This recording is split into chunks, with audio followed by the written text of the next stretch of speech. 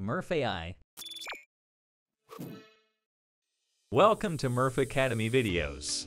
Following the import of your script into the studio, structuring it becomes crucial as it affects how your voiceover is delivered. This video will help you with structuring your script by organizing them within blocks and subblocks, structuring guidelines for different use cases, and different block and subblock actions to help you further with script structuring and voice generation.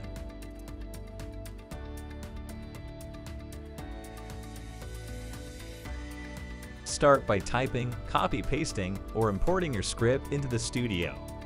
The script editor here helps you structure your script into blocks and subblocks. Your script can be broken into paragraphs or blocks, and the blocks can be further divided into multiple subblocks. This is useful because blocks and subblocks contain options and features to customize your voiceover and make it sound more realistic.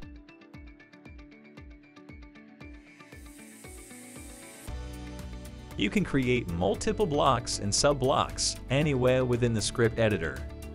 To add a block at the end of your script, click on Add a Block. To add a block between two existing blocks, hover to the right over the space between the two blocks and to add a block. To add a block at the start of the project, hover your cursor over the top right corner of the very first block and add a block. Within the block, you can create new sub-blocks by simply pressing the Enter key. You can split each of your sentences into a subblock or group a few sentences within a single subblock. This helps your voiceover have a seamless flow to its narration.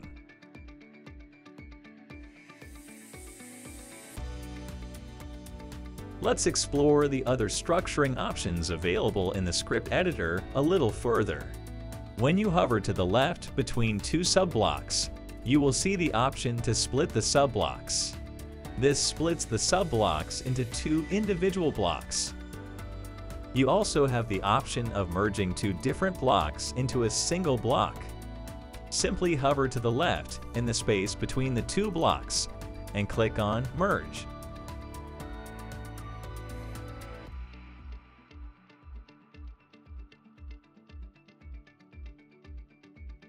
Once your script is structured, you can begin to work on generating your voiceover. The blocks support voice settings in the top panel and block actions in the top right corner. These voice settings help you set the right pace and right tone for your voiceover. These settings are applied to all the sub-blocks within a block. If you'd like a particular section of the block to have a different speed, voice, or pitch setting, you can simply split it to create a new block. This helps your voiceover have a seamless flow and helps eliminate monotony.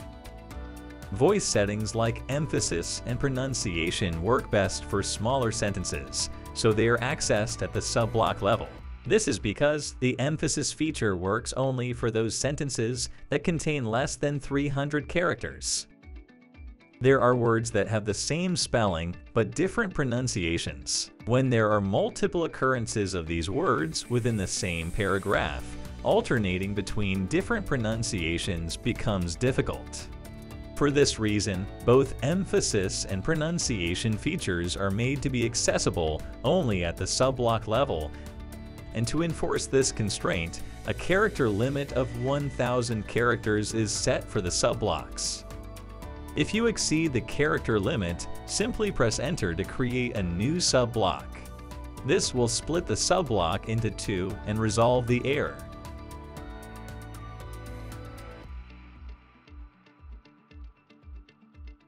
Once the settings are applied, you can generate and preview the voice by clicking on the play button on the right of the top panel. To preview the voice for a specific subblock, click on the play button on the right of the subblock. This helps you get a better idea of whether your script or your voice requires any further modifications.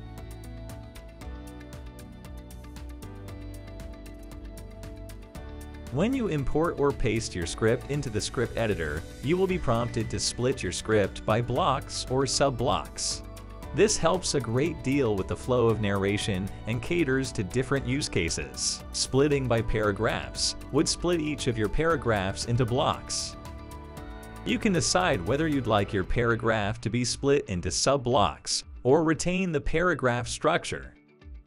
Features like emphasis and pronunciation work better with shorter sentences, but having your paragraph as a single block helps your voiceover have a seamless flow. This method is ideal for e-learning, podcasts, and audiobooks, as the emphasis is more on how the script is delivered. Check the Don't Split Sentences box if you do not wish to split your sentences into sub-blocks. You can alternate between the sentence structure and the paragraph structure for a more even pacing and flow of the voice. Splitting by sentence, on the other hand, would break each of your sentences into a block. This option is best suited for video scripts and conversational scripts. In the timeline, the voice blocks correspond to the blocks created in the script editor. There are, however, no separate controls for the sentence blocks inside a block. This is when splitting by sentence really helps. When you split your blocks by sentences, each sentence will now correspond to the video or image block script, which makes it easier to align the voiceovers with the image blocks or video blocks. This option is also really useful for creating conversational scripts where different voices feature in a single script. Here, splitting your sentences into blocks becomes a must, as blocks can only have one voice selected at a time.